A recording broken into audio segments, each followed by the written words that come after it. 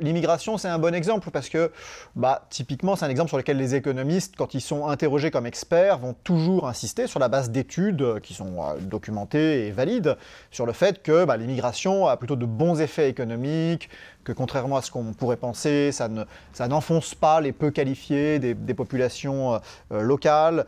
Et donc voilà, d'un point de vue économique, tous les curseurs sont plutôt positifs. Et puis dans les, pays vieillissants, comme bah, beaucoup de pays européens, c'est même mécaniquement souhaitable au fond d'arriver à, parvenir à un renouvellement démographique.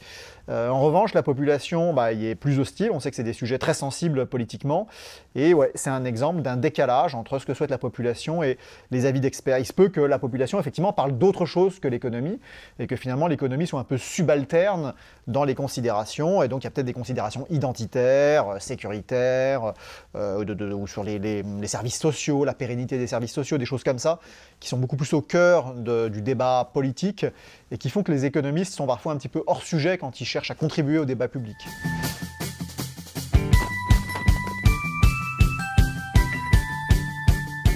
Bienvenue sur la chaîne de Liberté, le média qui infuse la liberté. Chaque semaine, on vous propose un entretien avec une personnalité qui s'intéresse de près ou de loin à la liberté. Cette semaine, avec Augustin Landier, professeur à HEC, qui a, écrit un, qui a coécrit un livre avec David Tesmar, Le prix de nos valeurs. Bonjour. Bonjour.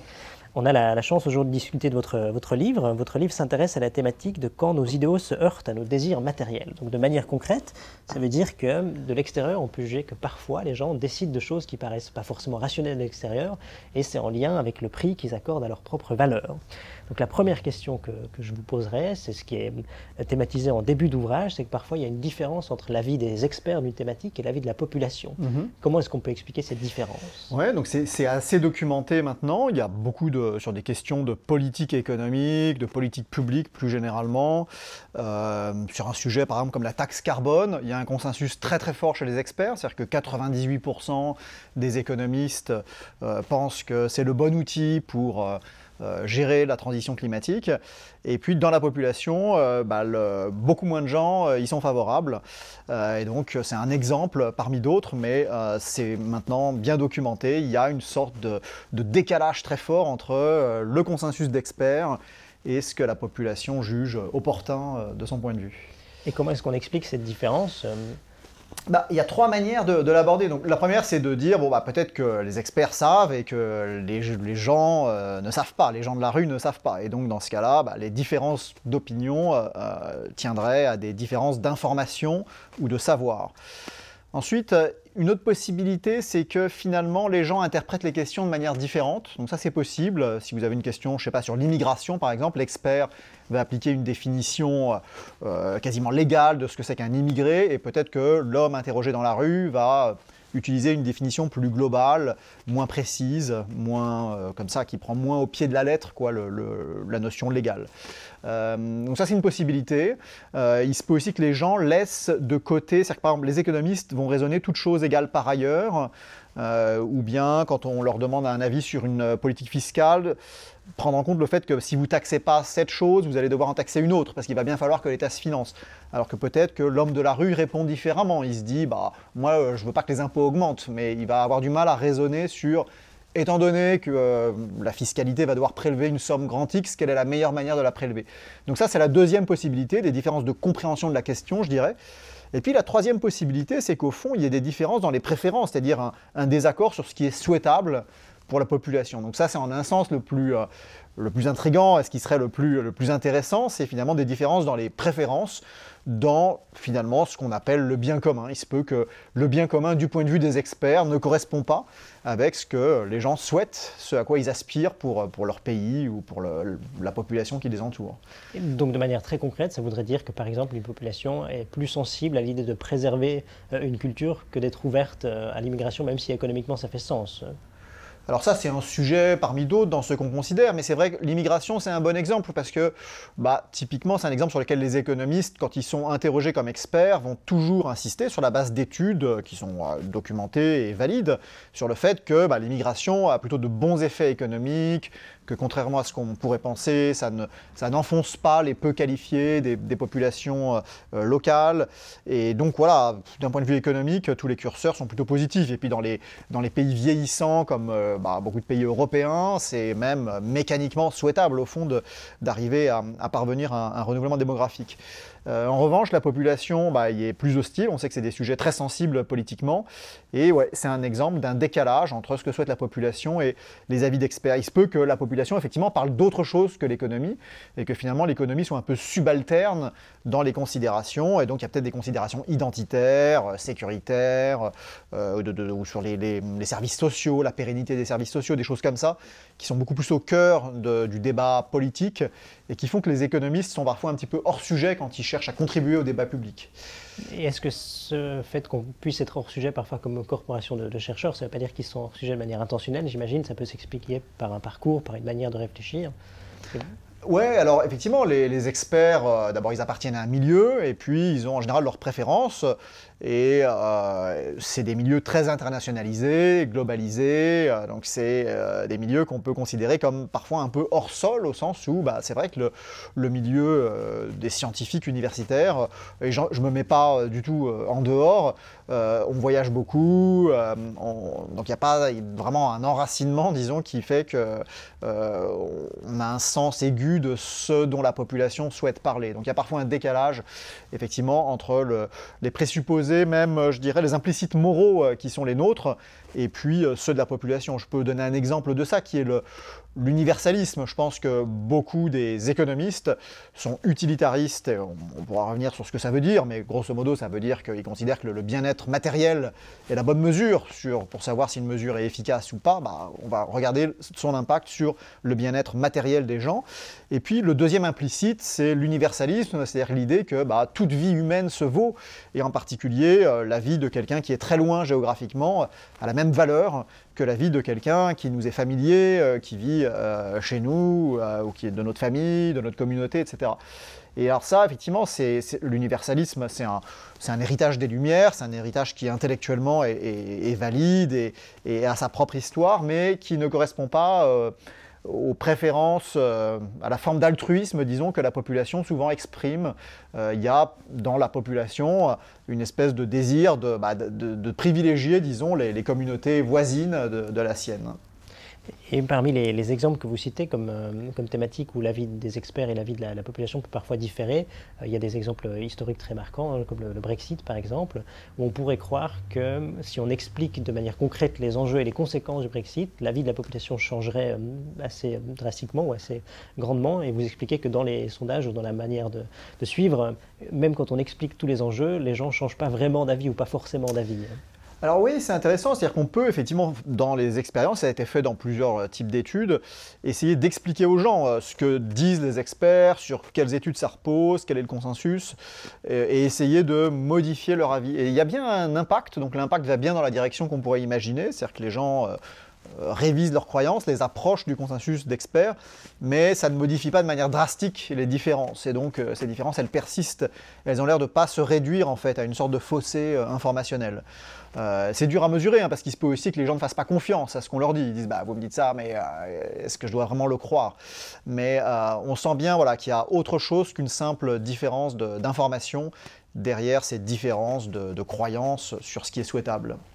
Et pour essayer de mieux comprendre cette différence, vous choisissez une, approche économico-morale pour comprendre pourquoi que les différences peuvent exister. Peut-être pouvez-vous nous expliquer pourquoi vous choisissez cette approche bah, Traditionnellement, disons, en sciences sociales, on a cherché à séparer un peu ce qui relevait de l'économie stricto sensu avec l'idée qu'il y a le jeu du marché, du business, le, jeu marchand, qui a ses propres normes et où finalement c'est c'est admis qu'on n'est pas là pour faire plaisir à ses amis ou, pour euh, euh, acheter des choses par compassion pour le vendeur, mais voilà, on cherche le meilleur rapport qualité-prix, c'est les lois du marché.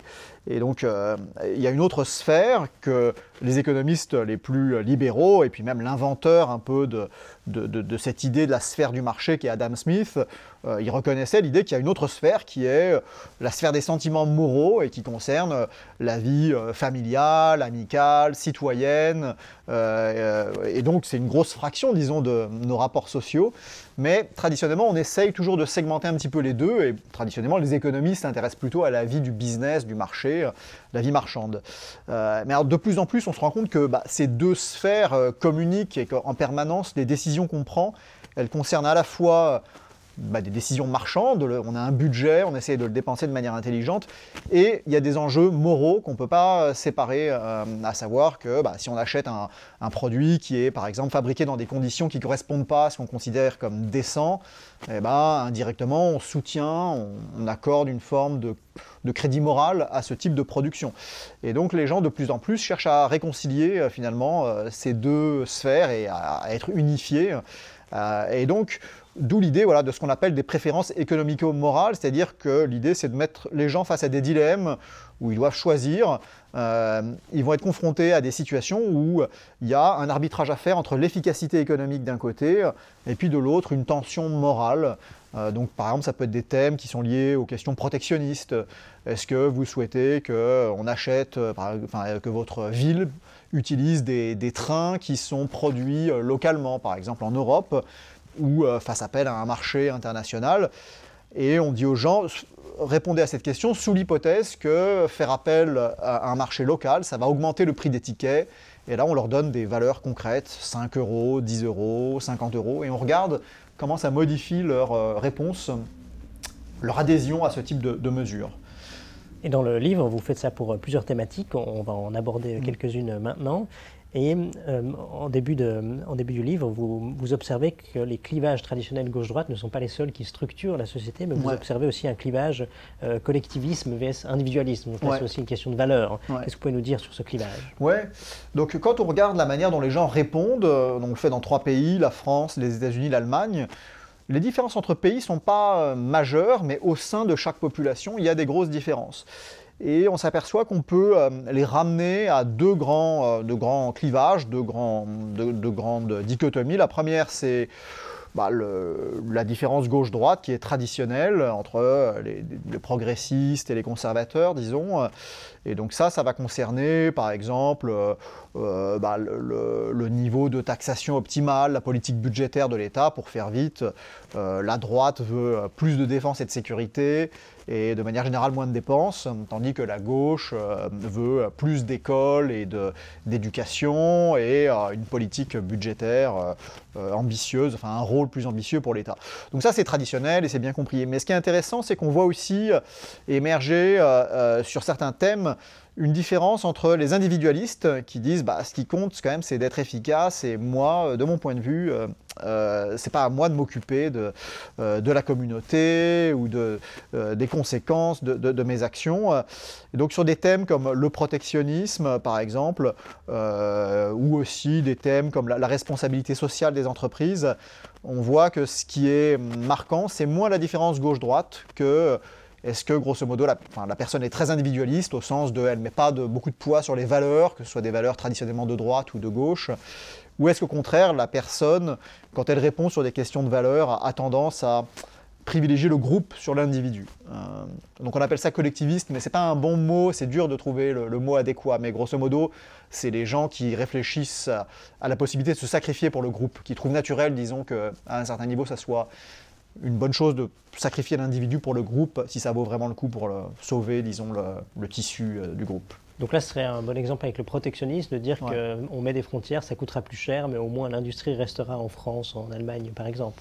Voilà, donc ça, ça peut être un exemple. Et après, euh, on peut se poser la question de est-ce que c'est souhaitable, euh, même d'un point de vue euh, social, quoi. Mais en tout cas, on, met les gens face à ce, cet arbitrage où on leur dit, bah voilà, il y, a des usines qui ferment, si on veut les maintenir, il faut une forme de protectionnisme, mais ça va induire une perte d'efficacité économique.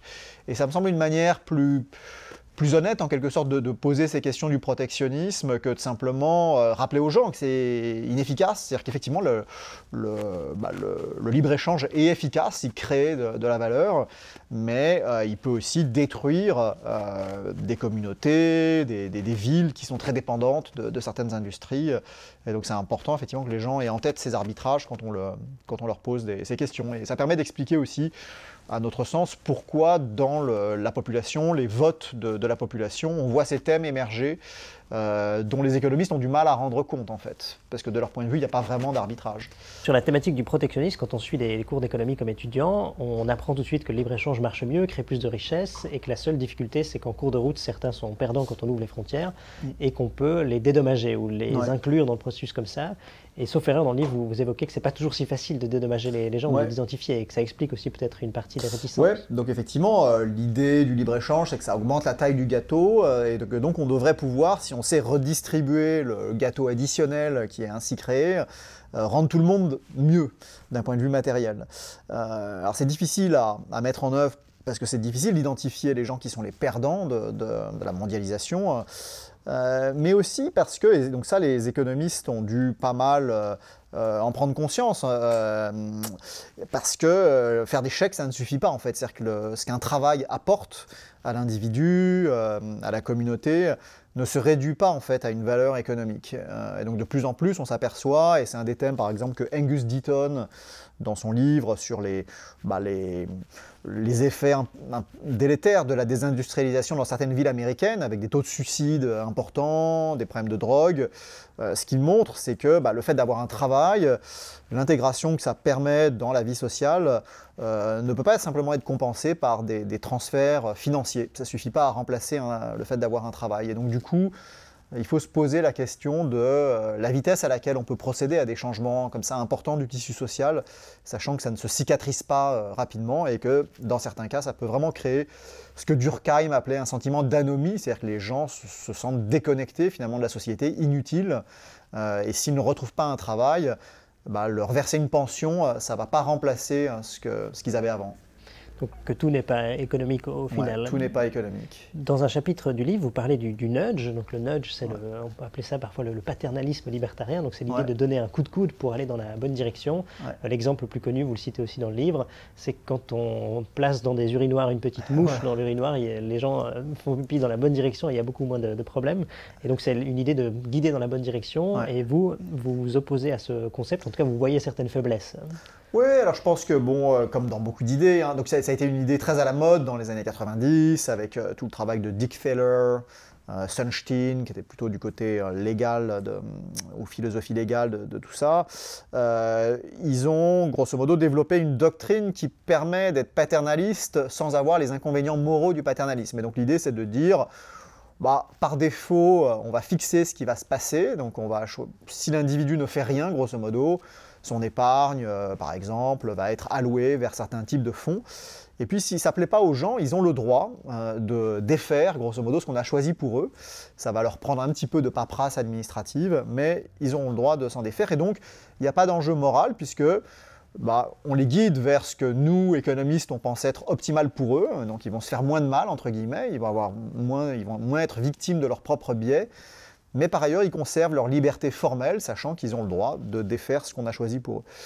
Et donc ça, c'est un petit peu euh, dangereux. Je pense que dans pas mal de cas, il y a une bonne intuition derrière qui est la question de l'ergonomie euh, de euh, tous nos, processus de, politique publique, mais même de services sociaux, etc. L'idée qu'il faut que les choses soient simples pour les gens et que si on peut, faire, on peut leur simplifier la vie, disons, en pré-remplissant certaines choses, euh, c'est mieux pour eux. donc ça, moi, j'adhère complètement à ça. Je pense qu'effectivement, une grosse partie des gains de, productivité aujourd'hui, euh, c'est la simplification dans la vie des gens et le fait qu'on enlève des, pertes de temps euh, qui rendent la, vie des gens plus simple. mais par ailleurs, ce que je pense un peu pervers, c'est cette idée de faire le pari que les gens vont être trop paresseux pour faire leur choix eux-mêmes. Euh, donc ça, on voit bien que ça, induit, disons, une sorte d'anesthésie euh, qui était très bien décrite par Tocqueville, qui avait pas mal anticipé en fait cette espèce d'anesthésie des classes moyennes, des pays qui, petit à petit s'enrichissent et puis qui finalement euh, deviennent de plus en plus sensibles à des questions de confort un peu triviales et de moins en moins, enfin se posent de moins en moins de questions sur le fond.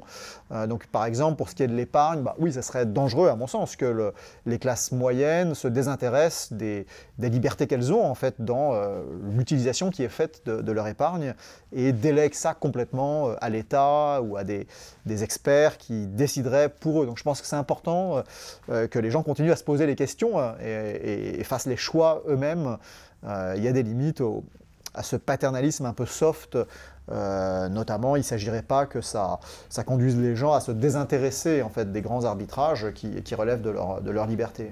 Vous expliquez même dans le livre que le nudge peut euh, sous-entendre que, euh, quasiment une pensée un peu complotiste, de se méfier de l'État qui décide pour nous et qui nous paternalise. Donc ça pourrait aussi radicaliser une partie de la, population. Oui, je pense que petit à petit, il y a une allergie qui se développe en fait à cette officialisation, disons, de la manipulation par l'État avec des usages de techniques euh, qui grosso modo peuvent induire des comportements que l'État juge vertueux, boire moins de, sucre ou de, choses qui sont euh, toxiques. Et donc il y a des bonnes intuitions, hein, comme toujours, euh, derrière ces politiques publiques mais c'est important voilà, qu'elle ne soit pas faite de manière un peu sournoise, cachée, et en particulier, je pense que ça, peut créer des antagonismes si c'est fait euh, euh, d'une manière qui n'est pas visible et euh, dont les individus sont eux-mêmes pas tout à fait conscients. Ouais. Donc il faut, faut être très précautionneux, à mon avis, dans tout ce qui relève de la manipulation il y a une autre question qui se pose avec le, nudge, c'est qui est-ce qui nudge les gens qui nudge? Vous l'évoquez, il y a la difficulté d'identifier les bonnes mesures, parfois on peut se tromper dans son jugement. Absolument, et puis on retombe un peu sur la question des experts, c'est-à-dire que les experts ont une conviction de savoir ce qu'est le bien commun. Euh, mais les individus peuvent ne pas être d'accord, et donc dans la manière de, vivre sa vie, de choisir le niveau de risque qu'on souhaite prendre, par exemple, les individus peuvent être assez hétérogènes, euh, avoir des, visions différentes de, celles des experts. Et donc là aussi, il ne s'agirait pas que tous ces débats euh, sur la, gestion du risque, par exemple, dans la vie individuelle, soient complètement supprimés, disons, dans les décisions qu'on peut prendre individuellement. Un autre chapitre du livre est consacré à la liberté. Euh, on pose la question est-ce que la liberté c'est une valeur en soi ou simplement une variable qui s'ajuste en fonction de l'efficacité économique? Parce que ça peut arriver que parfois sur le chemin de l'efficacité, la liberté soit plutôt un problème parce que les gens se comportent de manière euh, pas tout à fait attendue ou pas, mhm. pas selon euh, ce que les experts voudraient. Donc est-ce que la liberté est une valeur en soi? Alors, oui, enfin, je pense que dans la tradition philosophique, la liberté est, une valeur en soi, mais qu'en revanche, les économistes, alors même qu'ils se voient pour beaucoup comme des défenseurs de la liberté individuelle, ne lui font pas du tout justice. Euh, c'est-à-dire que l'économie, telle qu'elle est enseignée, euh, euh, a une vision purement instrumentale de la liberté. Il y a cette vieille idée libérale que par exemple Hayek a formalisée, qui est que bah, les individus en savent plus sur eux-mêmes que l'État, et donc c'est important que l'État ne fasse pas trop de choix de manière centralisée euh, qui préjuge en quelque sorte de ce que euh, les individus veulent. Donc ça c'est une intuition qui est bonne, mais qui suffit pas en fait à défendre la liberté, parce que dans beaucoup de cas finalement, euh, bah, l'État peut en savoir beaucoup sur les individus. Hein. Par exemple, on traverse tous un cycle de vie. Donc ah, quand vous avez 20 ans, bah, vous ne savez pas très bien qui vous serez à 50 ans. L'État le sait mieux que vous en un sens, parce que bah, tout le monde traverse un peu un cycle de vie biologique similaire, et donc en un sens on peut de manière observationnelle, savoir un petit peu euh, ce que va être le parcours de vie d'un individu. Euh, donc c'est assez dangereux cette idée que parce que euh, l'État en sait moins, c'est pour ça qu'il ne faut pas que l'État choisisse, c'est pour ça qu'il faut laisser la liberté aux individus. Parce que si c'était la seule raison de défendre la liberté, c'est une raison très fragile. Encore une fois, avec le machine learning, le big data, on peut dire bah, finalement, dans beaucoup de cas, les individus n'en savent pas tellement plus que l'État sur quels vont être leurs besoins à long terme. Et donc je pense qu'effectivement, il faut en revenir à la défense philosophique de la liberté comme un élément de la dignité humaine, euh, du parcours de vie qui est le nôtre, et autant que possible le réintroduire euh, dans l'économie, parce que ça s'est perdu euh, en cours de route, cette idée. Il n'y a que Amartya Sen, ce, philosophe et économiste, qui défend cette idée que finalement, bah, ce qui compte pour l'utilité des individus, c'est pas seulement le, la consommation finale qu'ils arrivent à obtenir avec leur budget, mais c'est aussi euh, les opportunités qu'ils ont eues, les choix qu'ils ont eu à faire. Autrement dit, euh, si au bout du compte vous mangez, je sais pas, euh, une pomme plutôt qu'une banane, c'est différent de savoir si c'est l'État qui a choisi pour vous ou si c'est vous-même qui avez choisi, même si au bout du compte le résultat est le même. donc le processus, le fait que vous ayez eu le choix, bah, ça compte dans la manière dont votre expérience de consommateur et votre expérience de vie plus généralement euh, se produit. Et je crois qu'Amartya Sen n'a pas réussi à imposer ça ou à faire devenir majoritaire sa vision du monde. Non, il n'a pas réussi vraiment à l'intégrer à la microéconomie. Il a, une, il a essayé de, le modéliser avec la théorie des, des capacités et avec cette idée qu'il fallait que les préférences des personnes ne portent pas seulement sur le panier de biens qu'ils obtiennent à la fin, mais sur euh, les choix qu'ils ont eus euh, et la manière de choisir. C'est intéressant hein, d'ailleurs que ce soit un économiste d'origine indienne en fait, qui soit arrivé là, et c'est lié au thème de la décroissance, c'est-à-dire que Gandhi avait une vision très ascétique finalement de ce qu'était la vie bonne. Et donc pour lui, euh, il aurait aimé finalement que le peuple indien s'engage vers une vie très ascétique. Et les économistes indiens, euh, tout en étant proches en fait de, ces intuitions, disaient c'est pourquoi pas, mais c'est important que ça soit un choix des individus. C'est-à-dire qu'il n'y aurait rien de pire que d'imposer une forme de pauvreté euh, ascétique, euh, que ce soit l'État qui l'impose aux individus. En revanche, si c'est un choix des individus, très bien, c'est tout à fait valide comme, euh, comme choix. Et donc ça, c'est une intuition qui est intéressante euh, aussi, parce que c'est un peu relié aux ces questions de décroissance. Il se peut que la sobriété euh, soit une voie saine et qui, qui, peut conduire à un épanouissement des individus, mais il y a une grande différence entre la sobriété subie et imposée et puis celle qui est choisie. C'est donc sans doute le, prix des, valeurs hein, qui différencie. Euh, peut-être euh, une, dernière thématique dans le livre que vous abordez, c'est l'identité. Euh, on peut poser quelle identité Parce que vous, en présentez trois visions. une vision de l'identité peut-être de droite, de gauche et une libérale. Donc est-ce que vous pouvez nous en dire plus un peu sur les différences Ouais, bon, c'est une catégorisation. Hein. Comme toute catégorisation, elle est un petit peu comme ça arbitraire, mais pour faire vite la vision de droite conservatrice, c'est euh, l'identité, c'est un héritage. Vous héritez d'un certain nombre de valeurs, euh, d'un patrimoine, euh, d'une religion parfois. Et donc, l'idée, c'est que vous devez cultiver cet héritage, vous, en devenir l'avocat en quelque sorte et le transmettre. Donc ça, c'est la vision de droite plutôt conservatrice de l'identité comme héritage, avec une vision un peu patrimoniale. Euh, ensuite, il y a une vision de gauche, mais qui aujourd'hui est une vision euh, divisée, en fait, avec d'un côté une forte inquiétude face à ce thème de l'identité qui met mal à l'aise parce qu'il clash avec l'universalisme. Euh, et donc on a tous en tête le, danger du nationalisme. Euh, voilà, l'Europe reste très traumatisée quand même par ces années 30-40, le passage par le, les fascismes, le nazisme, et donc une inquiétude sur les identités nationales en particulier. Euh, et puis sur la crispation qui peut conduire aussi à privilégier notre communauté face à d'autres communautés. Donc il y a aussi un rejet de l'impérialisme, du colonialisme, etc. Et puis par ailleurs, il y a aussi à gauche euh, une sorte de volonté de défendre la diversité culturelle. Et donc il va un petit peu dans l'autre sens, parce que du coup ça conduit euh, à essayer de faire plus de place aux, euh, communautés et à leur identité. Donc ça c'est, je dirais que la gauche actuellement est divisée en son sein en fait sur cette question de l'identité et donc du coup mal à l'aise, en particulier pour ce qui est des, des intellectuels de gauche. Et puis après la vision libérale, elle consiste à dire, bon, effectivement, on ne vient pas de nulle part, donc c'est important de ne pas, être de la dénégation, de ne pas dire, bah non, on est des individus qui naissent à eux-mêmes, euh, par eux-mêmes, euh, de rien. Non, c'est pas vrai. On est enchâssé dans une langue, dans une histoire familiale. Euh, mais après, on a beaucoup de choix sur ce qu'on garde et ce qu'on rejette. C'est-à-dire que vous pouvez très bien être né dans une famille qui a une religion et choisir de ne pas adopter cette religion et construire votre identité d'une manière qui reprend bah, une partie des affiliations euh, qui viennent de, votre histoire, euh, mais fait une sélection. Et donc il y a par exemple un philosophe que j'aime bien qui s'appelle Appia, qui est euh, un défenseur de cette approche très libérale en fait, d'une construction par l'individu de, bah, des identités qu'il consolide, disons, dans sa trajectoire personnelle, mais avec l'idée qu'il y a un choix à faire. On a le droit de faire le tri, euh, et on a le droit, dans certains cas, même de revendiquer des identités qui ne sont pas des héritages, mais euh, qui sont des, identités d'adoption.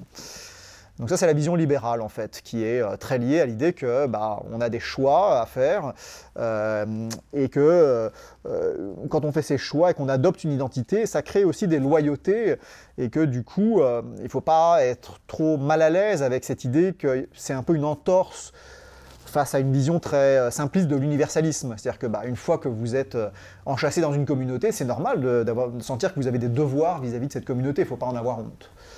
Et donc, avec ces trois identités, euh, qui sont évidemment des, catégories, vous jugez qu'elles sont, qu'il est important de mieux les intégrer dans l'analyse économique, parce que parfois ça peut expliquer aussi des différences entre ce que les experts pensent et ce que la population voudrait.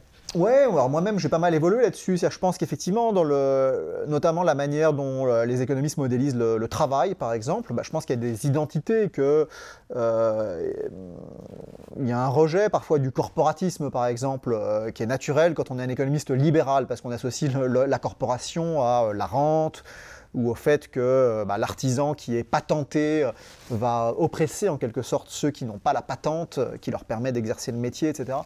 Donc effectivement, il faut avoir en tête cette question des rentes et du fait qu'il faut que les choses soient justes, qu'on puisse accéder au métier, mais garder en tête qu'il y a des identités individuelles très fortes autour de ces métiers et que du coup il faut les, respecter. Et quand on opère des changements euh, euh, qui euh, conduisent parfois à la disparition de certains métiers, il faut réaliser en fait ce que ça représente pour les individus. Et qu'on ne change pas comme ça du jour au lendemain d'identité. Quand on dit aux gens bah, désolé votre métier n'existe plus, c'est pour l'individu en fait quelque chose qui, est, qui, peut toucher en fait à, des éléments très très fondamentaux de, la personne. Et donc il faut comme économiste avoir ça en tête notamment dans la manière dont on modélise le, rapport à un travail.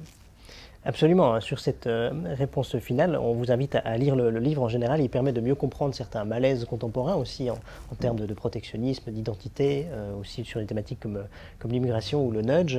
Le livre est très intéressant parce que les chapitres s'enchaînent. Ils peuvent aussi se lire, je pense, de manière séparée si on n'a pas envie de lire les 200 pages en une seule fois. Mais ça permet de beaucoup mieux comprendre pourquoi est-ce qu'on perçoit des choses qui tout à coup, de manière euh, empirique, ne se reflètent pas. Alors que donc la, la différence peut s'expliquer par l'approche que, vous, que vous proposez. En fin de en fin d'entretien, on pose la question traditionnellement à nos invités s'ils ont un livre ou une œuvre artistique qui les a marqués euh, au fil de leur vie en lien avec la liberté. Donc, quelle serait la vôtre? Bah, alors, quand on a écrit ce, chapitre sur la liberté avec David Tesmar, donc on, on s'est beaucoup appuyé sur John Stuart Mill euh, et Isaiah Berlin. Donc voilà, si j'avais des livres un peu philosophiques à recommander, c'est ceux-là. C'est vraiment des lectures voilà, qui peuvent se faire plusieurs fois dans, une vie, qui sont très riches. Euh, mais pour moi, sur la liberté, le, livre qui m'a le plus marqué et qui, qui, est relié un peu à mon obsession de la liberté, parce que je suis un économiste libéral quoi, depuis toujours, c'est un thème qui me travaille, euh, c'est Les Misérables en fait. Pour moi, Les Misérables, c'est vraiment un traité sur la liberté.